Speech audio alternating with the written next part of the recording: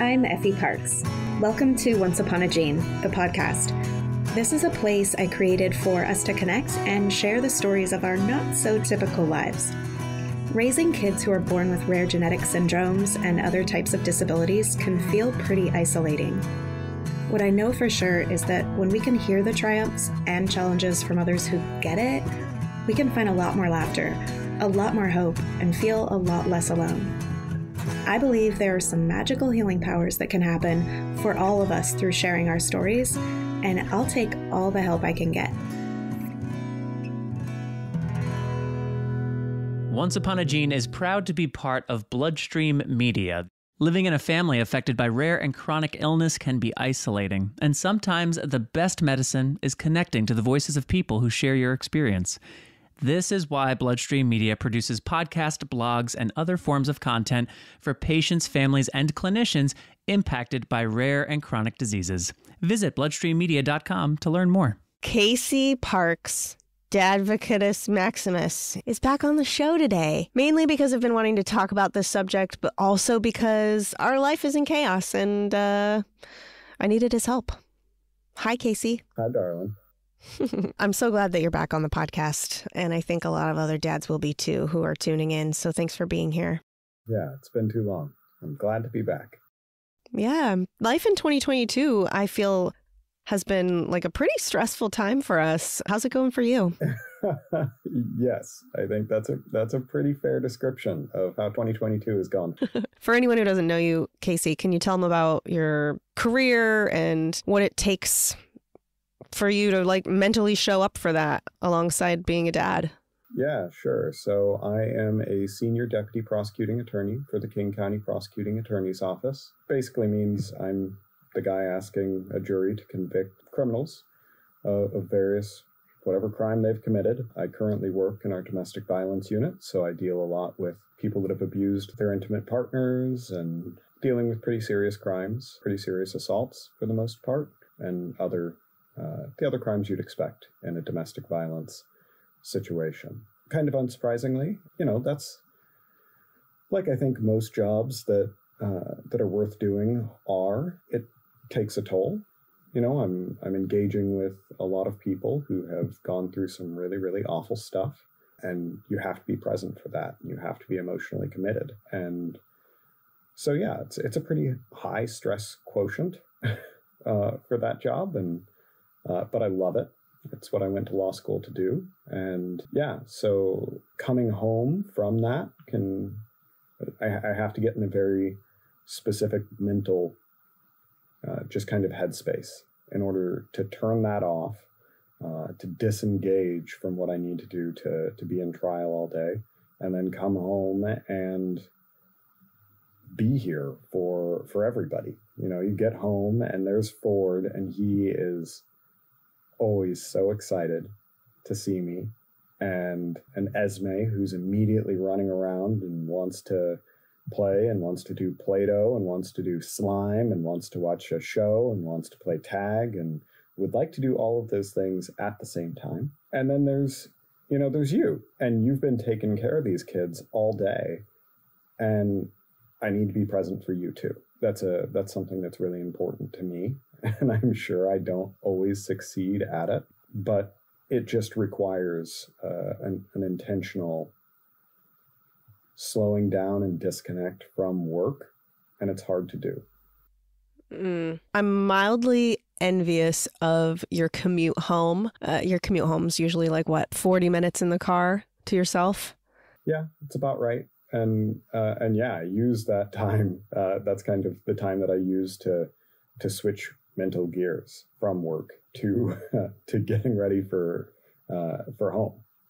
Yeah. I don't know how it is for other families so much, but I know I feel like most of the time, you know, I'm home with the kids all day. It's wild, wild west. I'm running around. I'm trying to get work done. You know, I'm doing all the household chores and all the Ford chores and also make memories, you know, with the kids. But then I'm like, oh my gosh, Casey's coming home and I am just going to let him take care of this because I'm done. And I know that's not necessarily fair to anyone and it doesn't really make sense, but it's almost like, finally my respite is home, even though I know you're just coming off from another job.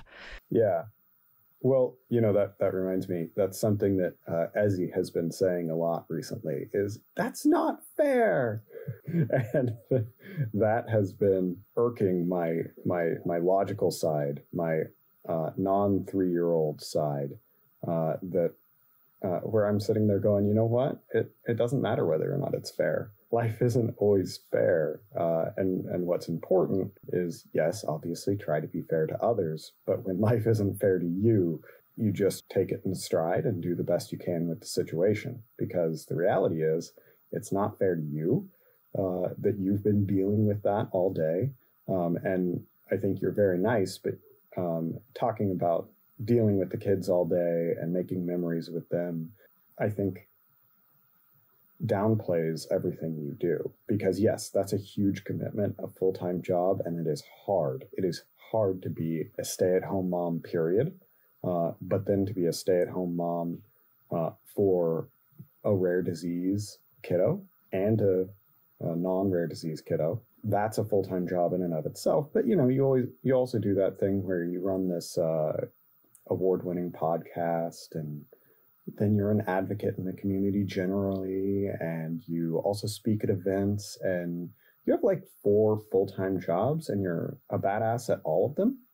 Um, and it's a huge commitment. It's a huge commitment to you and it's not fair to you that you don't have a time to to decompress. So so yes it's not fair that when i come home i need to take over sometimes. Um, but I'm not worried about whether or not it's fair. I'm worried about making our family work and making our lives work and making sure that we are all as happy as we can be. Mm, well, you're very sweet. Thank you, sweetie. You know, you said something about uh, me being a badass. Uh, no, but me being good at all of those things, which I don't necessarily agree with. And I wonder if you feel the same about your job. Do you feel like you're just killing it at home and killing it at work? Or does everything just get pretty spread thin and you don't feel like you're doing a good job anywhere? Because that's where I am right now. I feel like I'm just not doing a good job anywhere. There are days. There are days when I'm staring at a computer uh, and I am trying to make myself do the grunt work that's necessary for to be an effective trial attorney. You know, just writing briefs and sending out subpoenas and reviewing warrants and every other thing under the sun. Trying to do all of those things and it's just hard to focus because I'm I'm just burned out. And the same thing when I get it, get home. There are days when I am short, and I hate it when I realize that I am being short with uh, with any of you three. So yeah, there are times when I do not feel like I'm doing a good job at anything. But I'll also say that's one of the reasons that I like trial. Trial is incredibly stressful, but there's no choice but to be present. you're there, you're in it. It's it's an adrenaline spike and it it'll wear you out, but it is fun cuz you are on the ride and you are engaged and it engages your mind.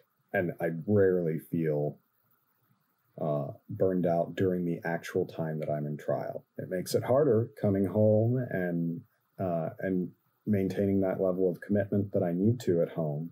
Uh, but you get that sense of fulfillment of doing some really good work. Uh, so, so yes, uh, there are days that I feel um, like I'm not doing a good job, but there are also days that I feel really good about what I'm doing.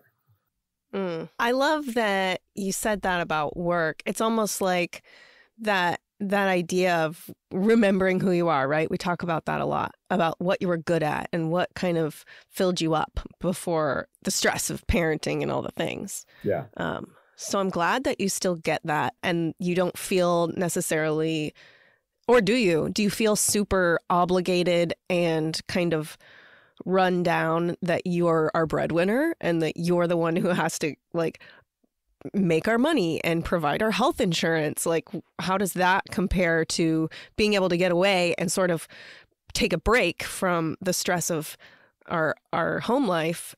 Yes, that's something that I, I feel, especially living in the, the greater Seattle area. You know, I, I make a good living as as a prosecutor, but making a good living isn't really enough uh, in the greater Seattle area to do what you want. You know, we still live in a pretty small condo. Uh, haven't been able to move into the house that we we really need for Esme and Ford uh, to give them more space, to give them uh, a little bit of freedom, and that, yeah, that that weighs on me. That's something that I want to be able to do for them and for you, but at the same time, I, I do the work that I do for for very specific reasons. I didn't become an attorney until pretty late in life. I didn't go to law school until I was about 29, I think. That's when I started, or I guess 28. Uh, so, and most of the kids that were there uh, in law school with me were 23 or so.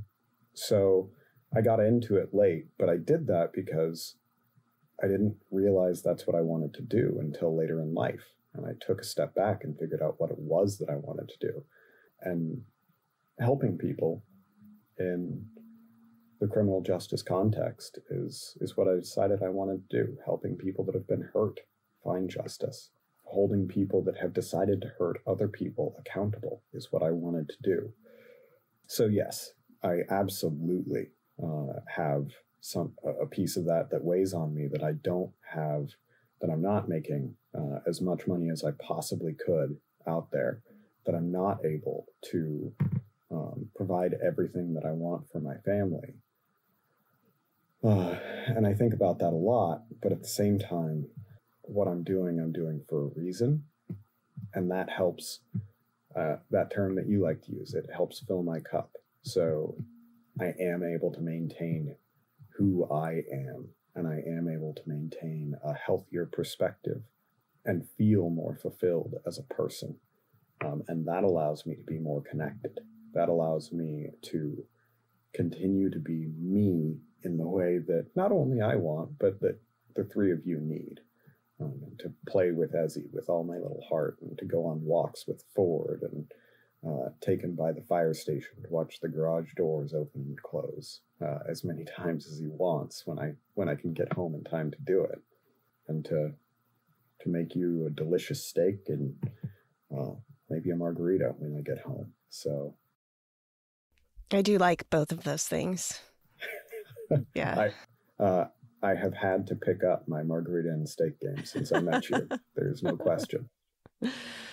Oh my gosh. What what's been the biggest surprise that you've discovered about yourself in the last couple of years being being a rare dad and maybe what are you good at that you didn't expect or maybe what are you bad at that you thought you'd be better at?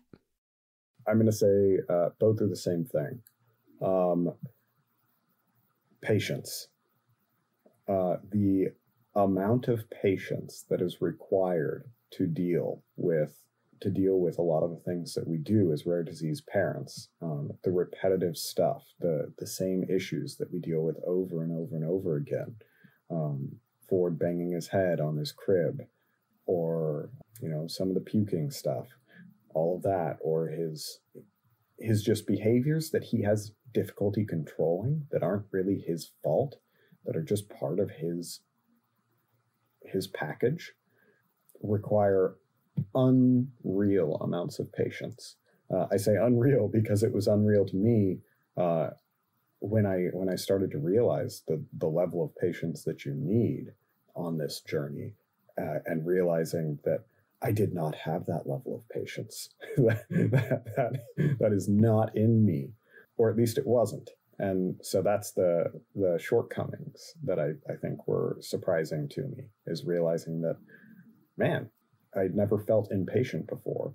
And the the good side of it is that i have become a lot more patient than i ever thought that i could. Uh, and that's transitioned into uh, other parts of my life as well. Yeah you definitely seem like this life is easier for you than it is for me. And I had lots of patience, I think, before.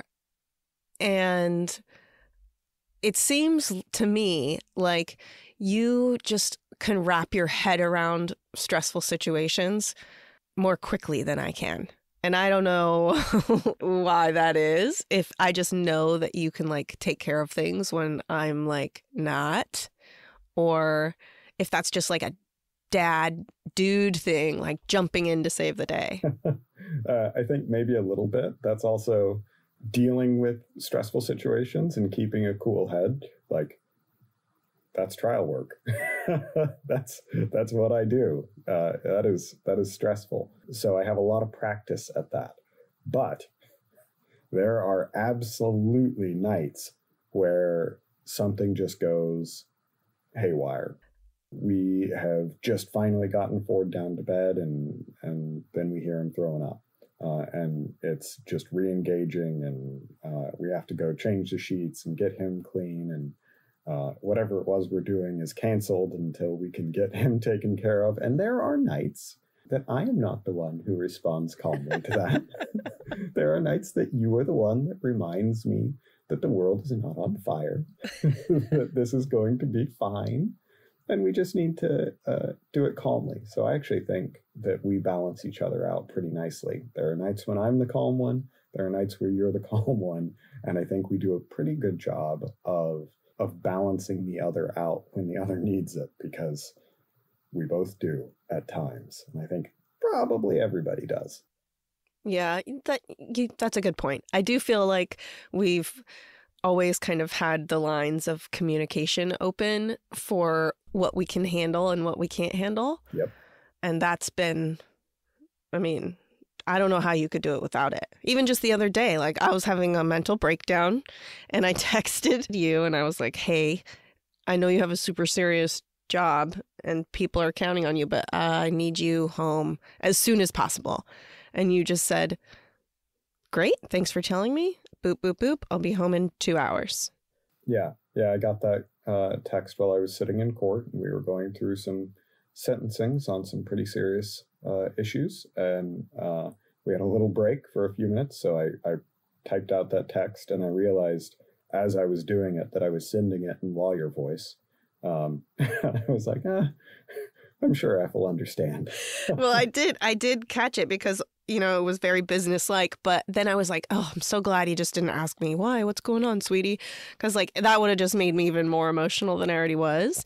And I love that you just took what I said and uh, directed it to where it needed to be. And it was just like, it was exactly what I needed, actually. Yeah. So, unfortunately, as soon as I was done with those, uh, there's always more work to do. People, other coworkers, and um, other people always ask how I manage time and that sort of thing. And uh, one of my primary answers to that is uh, this job, and I think a lot of jobs out there will take as much time as you are willing to give it. And on that day, I didn't need to stay. I didn't need to stay and do things that I could do the next morning when I come into work. Uh, and it was more important to close my computer and get home to you on a day where things were not going good. Uh, that was far more important to me. And um, and fortunately, people at my workplace are uh, are really understanding about that sort of thing, and I was able to do that. So I just closed it down, came home, and and took care of things. Yeah. What do you think are some of your healthy and not so healthy coping skills that you use in your own mental health journey? Realizing when I need a break, and I try and be pretty good about communicating that to you and just letting you know that I need a minute. Um, I try and get together with my friends every every once in a while, um, once a month or so, and we all just play nerdy games at uh, for a night, and that's important for me. Um, I try and take a break in the middle of the day and just walk across the street and get outside and grab something to eat, or if I brought lunch that day, then I try and go get a cup of coffee or something like that, just so I can get up and, and get moving, not just sit at the desk all day long. Uh, I think that's probably some healthy stuff. Unhealthy stuff, uh, you know, I'll, I'll, sit there and I will just, uh, on some of those occasions when I take a break, I will uh, veg out and I will eat too many potato chips uh, and I will eat um, other various unhealthy stuff uh, and just kind of be a couch potato when I should really probably use some of that time to get up and uh, and maybe exercise or do something like that. But I'm just kind of burned out and I sit there and I often just stare at my phone. And I don't think that's healthy. And I don't think it uh, really maximizes the use of, of kind of our really important time capital. But man, sometimes I just feel like that's all I got. That's all I got left. It's potato chips and a phone. so um, that's yeah, kind of two sides of that same coin. Yeah. You know, I know for whatever reason you're shy, you are a highly acclaimed introvert, but I know you don't like personally connect with other rare dads as much as like I wish you would. Mm-hmm. Um, but do you listen to their stories? Are you reading their posts? Does that help you in any way? Have you ever felt like maybe you would have a shift in your engagement with this community? I know you feel connected to people like Daniel because, you know, I talk about Daniel all the time, but like, do you think that it would help you to actually do this, to actually talk to these guys or like build relationships or even be be more than a weird creepy lurker? Uh, i do i do use social media for weird creepy lurking. Um, i just kind of read posts. I i don't know. Um, i think that the way that i am and the way that i've always functioned is friendships kind of have to happen organically for me. I, am not the kind of social butterfly where I'm going to go out and I'm going to introduce myself to people because I want to be their friend. Uh, that's just not the way my mind works, and uh, and it is not something that is helpful for me, or I think for for the person that I'm trying to be friends with. Uh, but if it happens organically and and I meet somebody and we're when we do become friends, then yeah, I think that having that presence in my life is uh, is probably good to to kind of you know uh, just have that sense of connection and have that there. But I'm also pretty good at at kind of internalizing that I'm not alone in this. Uh, that there are other people that go through uh, the same or similar things that we do, and and I feel pretty good about who I am and about what we do, um, and I I can uh, what we do as parents, and that is enough for me. So obviously, I think the more connection and the more uh, friends that you have, uh, especially friends that can empathize and can connect with you on a deeper level, the more you have of that in your life, the better. But it's not something that I need in the same way that that you need it, um, because you absolutely do. Um, there's there's no question that's something that has to be a part of your life.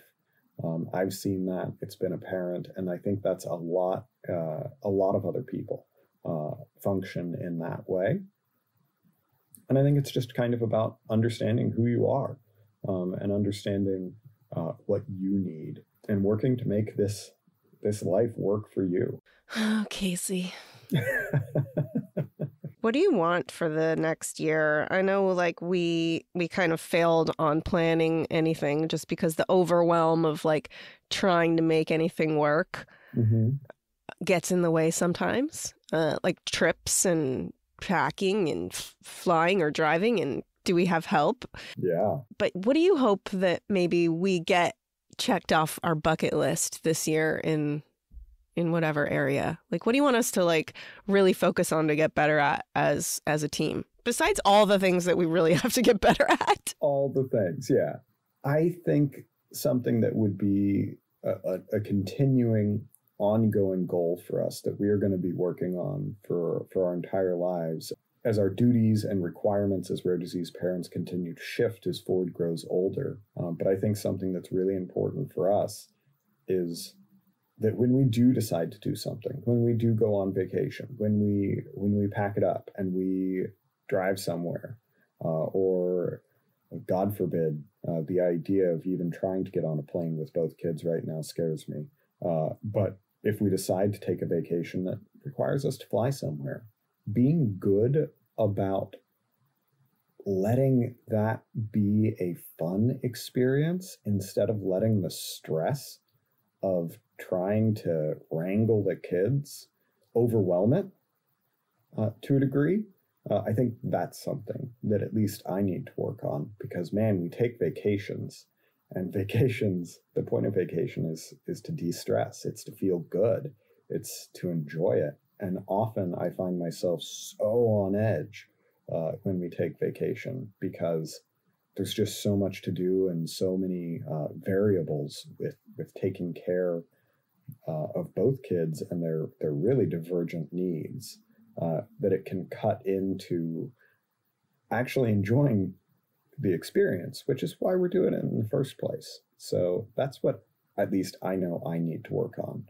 Um, and I think that we probably need to work on as as a unit and a, and a family is enjoying our experiences. Yeah, so we'll just need to do some really deep meditation for like weeks up up until a trip, is what you're saying. We need to like woosah it out. Either that, or if you could just finally get that magic wand and mm. just make it work. I mean, I've been mm. asking for a long time. I think the teleporter would be handier. We could just throw the stuff in there right. and we wouldn't even have to pack it. Like that would be my ideal packing situation. Yeah, I feel like one of your friends should definitely invent a teleporter for us. Yeah, it would solve it would solve everyone's problem. Yeah, let's get on it, people. All right. Well, I love you so much. Thanks for just being one of the best advocates I know and um, for taking such good care of us. And I hope that uh, you can pass this episode along to uh, one of the favorite advocates in your life too, and maybe they can see themselves a little in Casey. Well, thank you for having me on the show again. Uh, I love you all so so much, and uh, I love taking care of all of you, and you three take care of me every day. All right, thanks, darling. No problem. I hope you've been enjoying this podcast. If you like what you hear, please share this show with your people and please make sure to rate and review it on iTunes or wherever you get your podcasts. You can also head over to Instagram, Facebook, and Twitter to connect with me and stay updated on the show.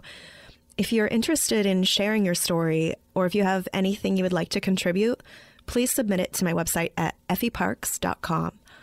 Thank you so much for listening to the show and for supporting me along the way. I appreciate y'all so much.